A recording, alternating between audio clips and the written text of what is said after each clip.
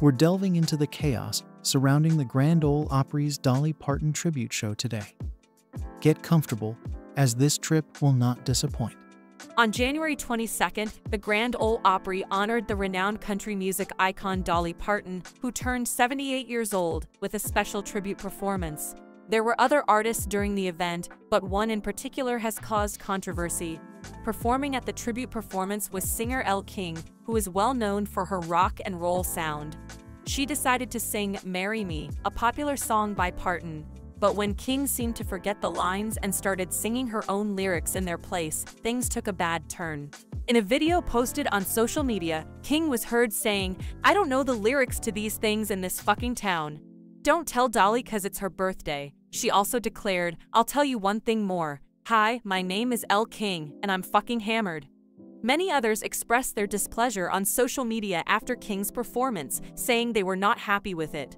One X-user formerly Twitter remarked, Elle King destroyed the night with her intoxicated and obscene performance. Dolly Parton would have been humiliated. Another fan added, it was such a disappointment to spend $300 on tickets for a show where one of the artists ruined an otherwise great tribute. The Grand Ole Opry apologized on Twitter in response to the criticism, saying, We deeply regret and apologize for the language that was used during last night's second Opry. Stella Parton, the sister of Dolly Parton, also voiced her opinion on the matter, expressing dissatisfaction with King's performance and the words she used. Stella Parton said, I didn't see nor hear the Grand Ole Opry birthday tribute to my big sister Dolly over the weekend.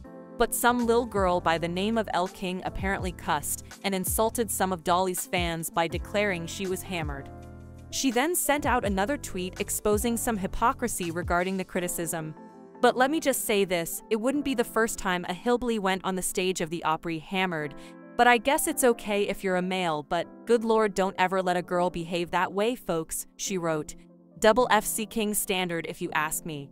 So the Opry is apologizing, lol. After becoming viral for her Dolly Parton tribute just a few days ago, country music artist Elle King has canceled her scheduled concert at Billy Bob's Texas, a honky-tonk in Fort Worth, Texas.